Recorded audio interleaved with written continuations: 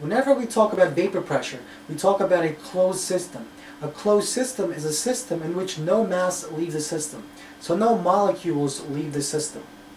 Now we also talk about two phases being present in the system, either liquid and gas or solid and gas.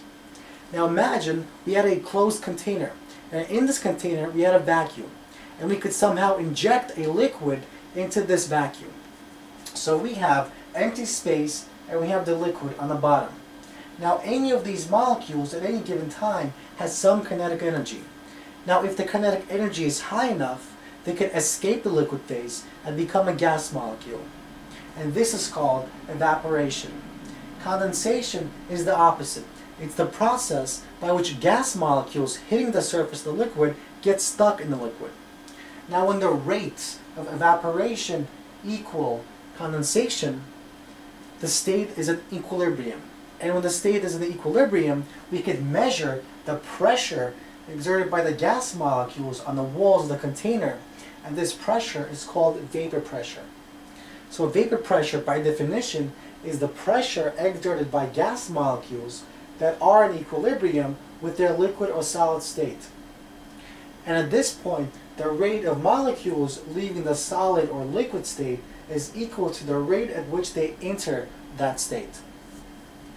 Now from everyday experience, we know a hot liquid will evaporate quicker than a cold liquid.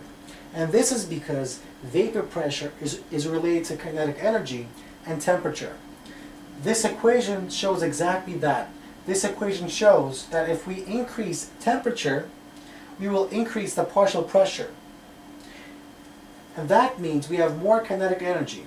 The more kinetic energy we have, the more molecules we have that will leave the liquid state and travel into the gas state. Volatility is the ability of molecules to evaporate. So a volatile substance will evaporate quickly. An example of one is alcohol. Non-volatile substances are those molecules that will not evaporate quickly.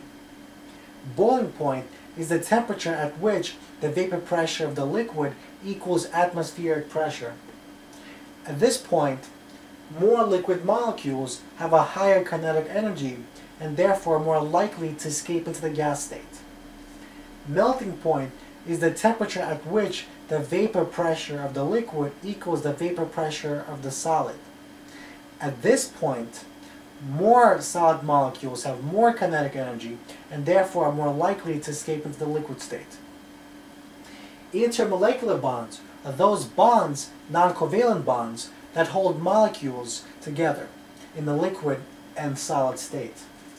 Strong intermolecular bonds will require more energy and a higher temperature to break. That means the boiling point will increase. That's why alcohol, which has very weak intermolecular bonds, will boil at a lower temperature than say water, which has very strong intermolecular bonds.